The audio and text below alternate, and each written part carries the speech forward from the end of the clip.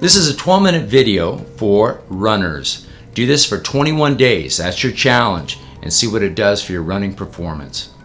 All right, we're getting ready to move. Lift the arms up over the head. Big stretch up out of one side, then the other.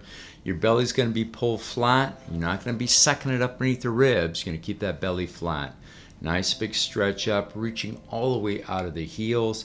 Neck is long, chin is in. Taking the hands behind the back, really puff the chest up. You bend forward, try to get your shoulders over your hips. Knees are bent, very, very fluid through the hips. You're to tuck the pelvis and flat back, going back and forth. Pretty sexy moves, but uh, you're not doing this necessarily in public. And then go from side to side. Neck is nice and long, really trying to stabilize the upper body. Belly's pulled in, knees are working. Good. You lift your heart up. I still got that chin in. You do too. Hands go up over the head. Big fold forward. Both hands come down flat to the mat. Shake the heads out. Neck is nice. Neck is nice long. Belly's pulled in. Twisting open. Lift that heart up. You can feel that across the back and back the legs. Working the back of the legs. We need to get those legs working for that run and your hamstrings are going to be nice and tight in the beginning of this. They'll loosen up because we have a very active stretch going on. Walk the hands back, walk the feet, uh, uh, walk the hands forward, walk the feet back. Sorry, belly's pulled in. You come forward into a nice little plank, and then you come on down, lifting your heart up, and you come back down. Float on up, a little bit of a stretch in the front of the body. Feel that between the shoulders, neck is nice and long. Tops of feet are pressed in the mat, belly's pulled in. Lift it on up. Good. Taking the hands behind the back, reach your knuckles way down, lifting up, really activating your back muscles. You know, when you go for a run, a lot of times you'll uh, bend forward a little bit much, too much. Your head comes forward, neck is nice and long. Good. Get that nice big stretch. And have the hands just outside the chest. You can float on up, come up onto all fours. Going to send the back up towards the sky, chest slides forward. You're doing your cat cows. A lot of you can come a lot more farther forward than I can. Belly's pulled flat. Good. Neck is nice and long. Maybe press the tops of feet in the mat. Hands are grounded on the mat. Elbows are soft. Draw a nice little circle. This is where you bring out that uh, inner modern dancer. Get very, very fluid here, very expressive. Breathe in and breathe out. Maybe even put a little fake smile on it. Now, the left leg goes out, you're gonna pulse up down. Notice the left foot is flexed back. That's gonna really open up the back of the hamstring and pulse that leg up and down about 24 times, two sets of 12. Belly's pulled in, knees coming in towards that left shoulder, keeping the knee high, left foot is flexed back, belly's pulled in. You can do about 12 of these. Breathing in, breathing out. Try to breathe in and out through the nose if that's possible.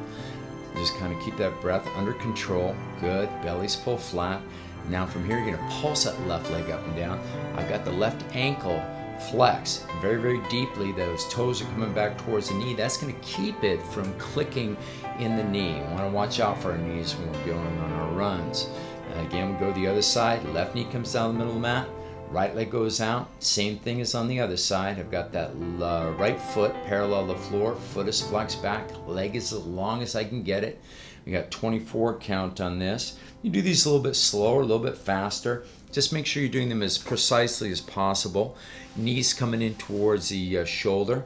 Again, I'm keeping that knee nice and high. Neck is long, belly's pulled flat. Not looking back at the knees. Looking between the hands. Really feeling that in the hips, warming up the hips. This could be really good for you when you go on that run.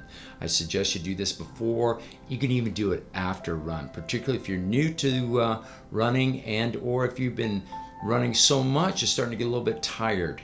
You can bring it down, come down a nice little hold here, a little half push up, half chaturanga. Good. Lower on down, chest comes up, belly's pulled flat. You lower down, hang and hold here, just breathe in and breathe out. And stay here for maybe count of five. Good. Come all the way down. It's to work through your shoulders. Neck is nice and long. A lot of times we'll carry tension in the shoulders when we're running. Keep the shoulders away from the ears. Good. Floating on up belly's pulled flat. We don't go into a child's pose. Now I can have that uh, right forearm come across mat. I've taken that left leg out, pointing the toe, is drifted out to the left about, oh, maybe uh, uh, an eighth of my range of motion there. Belly's pulled flat, about uh, 730.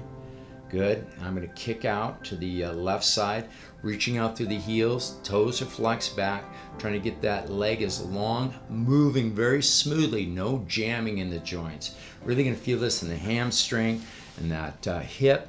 Also, all the way through the belly, pulsing it up and down, breathing in, breathing out. Try to have as much control. Precision is so important here.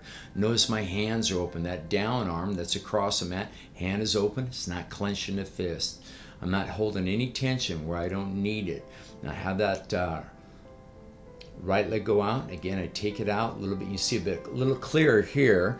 You see that it's out about 4.30 on that imaginary clock, pulsing up now. I'm pointing that foot as much as I can. Again, my left hand is open. Knee comes in. I'm going to kick out as far as I can to the right. I'm not going to let that knee pop. Very, very smoothly moving through that kick and kicking high the entire time. Then that leg is going to go out. I'm going to hold it out there and then pulse it up and down. Be a little bit more fatigued on this side than the other side because already the pelvis is really starting to warm up. Pulsing that up and down 24 times, or either 12 or 24. Do what you can. Belly's pulled flat. Good. And you come back. Let's tuck the toes under. So you have your toes tucked under, so pointing towards the knee.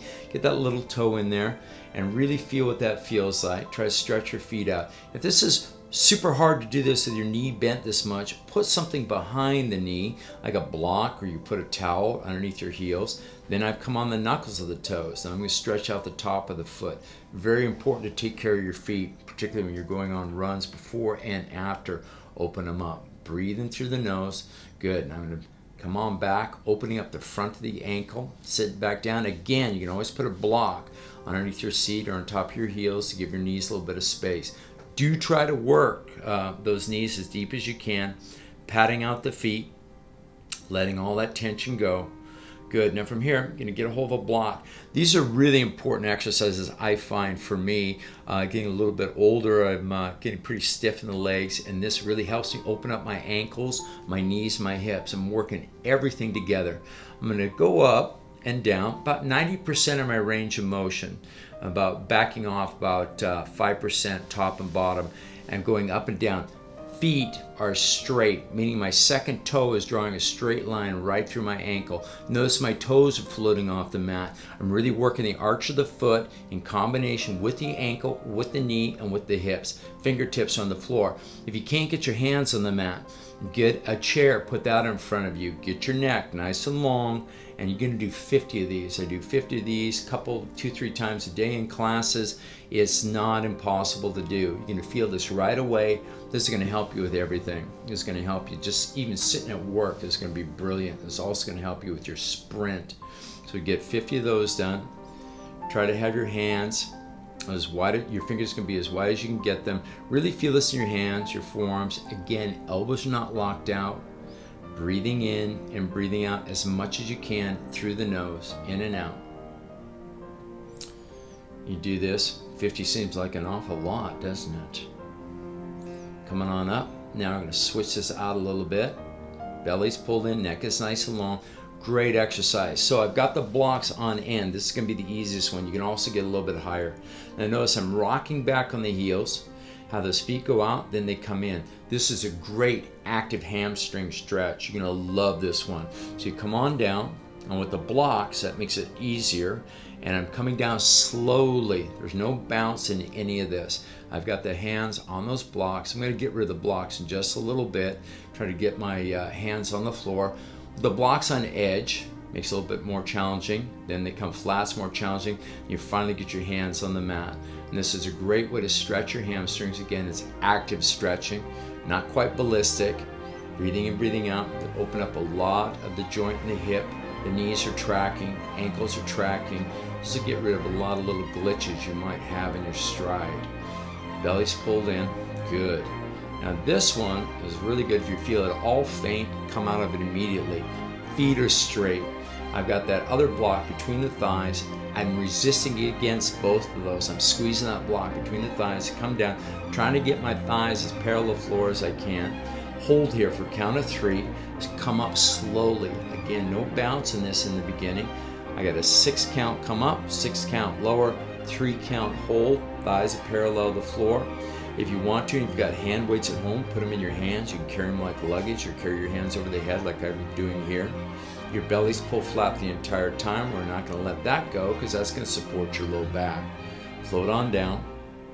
Usually in class, you do five of these. And on the fourth one, get a little bit of a bounce. This is the bounce I'm talking about. You do 12 of those. Very smooth, very slow.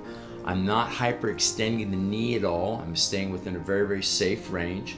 Get any clicking, any really uh, sharp pain, obviously you're not going to do it. Hold there for just a little bit. You float on up.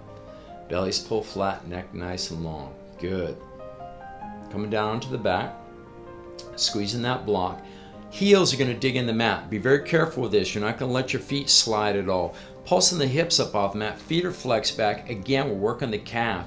You've been running, your calves going to get tight. This is going to help you with that. This is also going to help you with your kick at the end of your run if you're going to get into a, a little sprint.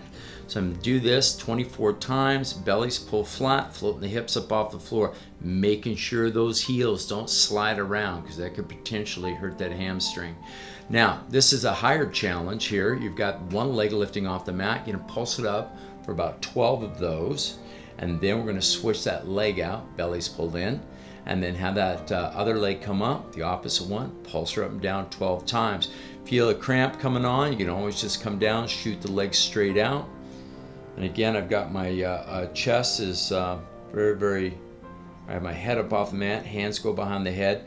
Getting a little bit longer here, I've made a shallower angle with the knees. I got the feet flexed back. You're just gonna hold everything from your shoulder blades down to your heels off the mat. This includes the head, this includes the arm.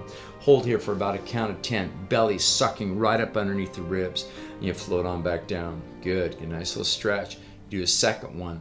Have those feet flex back. See my feet are active. You've got your legs are active. Belly's being sucked right up beneath the rib cage. Chest is uh, again off the mat as much as you can get it. Head is off the mat. Belly's pulled in. Then we come back down. Good. reach out. One hand over the top. Good. Nice little stretch. Very passive stretching. Good. Trying to get a little bit more length all the way along. Bring your knees in, rock it out from side to side. Have your low back flat on the floor. It's like a massage, a lot cheaper. Just rock it out from side to side. Neck is long, trying to get him pressed right into the floor. Good work.